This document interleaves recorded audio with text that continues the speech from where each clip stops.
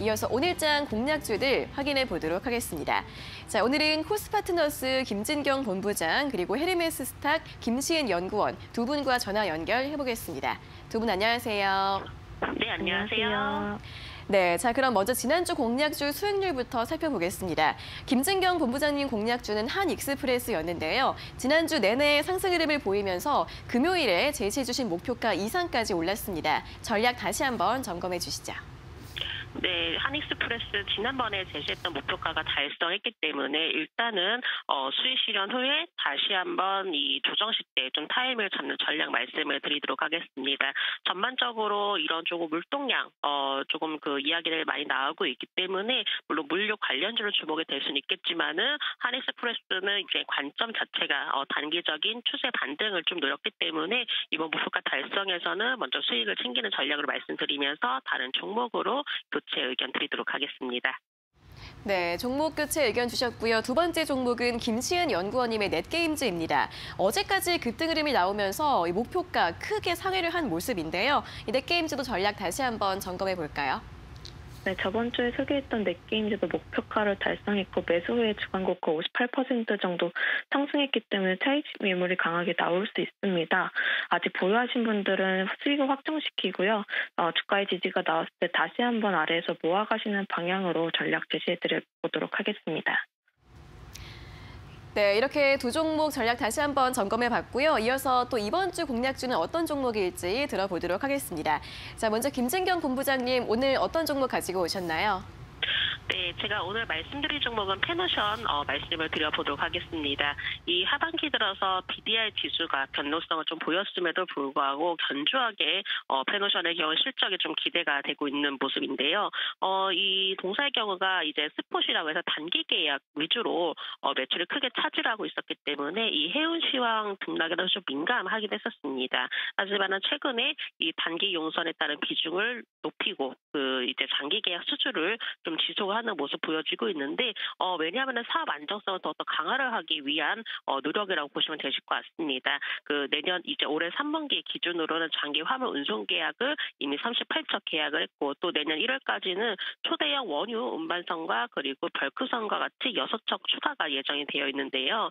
쉘과 그리고 갈프와 가는 이제 LNG 운반선 6척에 대한 장기 대상 계약을 맺은 상황입니다. 그렇기 때문에 2024년까지 순차적으로 투입을 할 예정이라고 하고요.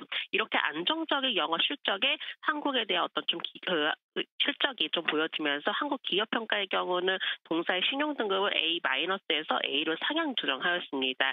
지금 장기 계약을 중심으로 이 사업 자체가 외형 확대로 보여지고 있기 때문에 신용 등급 상향에도 긍정적인 영향을 미쳐지고 있는데요. 이 현금 청출력을 좀 바탕으로 해 나가고 있기 때문에 신용 등급 상향 조정에 성공하고 또 최근에는 공모채 시장까지도 좀 등장하면서 이 구조 조정 여파를 씻어내는 모습 보였기 때문에 오히려 지금부터는 충분히 관심을 가지고 모멘텀 또한 두각을 나타내고 있다라는 점 말씀을 드려보도록 하겠습니다. 지금 페노션의 경우가 안정적으로 지지를 받으면서 흐름은 좀 이어지고 있습니다. 요즘에 계속적으로 많이 낙폭 과대가 되고 지금 바닥권에서 있는 종목들 위주가 반등세가 좀 나와주고 있는데 페노션도 마찬가지로 지금 이렇게 지지 라인을 좀 잡아 나가면서 이평선에 수렴을 하고 있기 때문에 점진적으로 추세적인 우상의 흐름이 좀 기대가 어, 된다라는 점 좀 말씀 을 드리고요.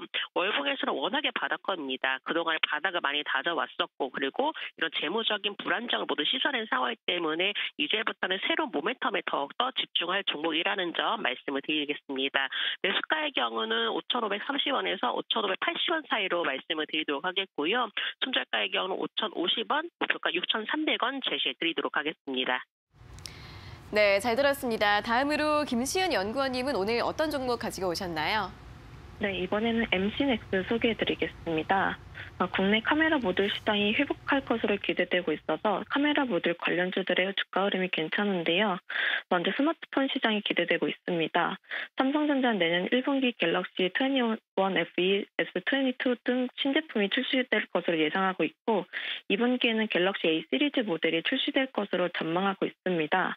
삼성전자는 카메라 화소수 상향이나 손떨림 보정 부품 혜택 같은 카메라 상향을 좋게 하는데 초점을 두고 있기 때문에 MC넥스의 추세가 기대됩니다. 내년 스마트폰 판매량도 올해 대비 6% 정도 증가할 것으로 전망되고 있는데요. 삼성전자의 판매 목표 대수가 시장에서 보고 있는 수치보다 높기 때문에 판매량이 더 늘어나게 된다면 이에 따른 수혜도 기대해 볼 수가 있겠습니다. 카메라 모듈 그 차량용 부분에서도 큰 성장을 이뤄내고 있습니다. 구조적인 성장세로 돌아섰고 연평균 40% 이상의 시장 확대가 예상되고 있습니다. MC넥스의 차량용 카메라 모듈 비, 매출 비중 역시 20% 정도를 넘어서 점진적으로 상승할 것으로 기대되고 있습니다. 신차의 카메라 모듈 탑재 수가 그 자율주행에 영향을 받게 되어서 한 대당 두 개에서 평균 8개로 확대될 것으로 예상됩니다.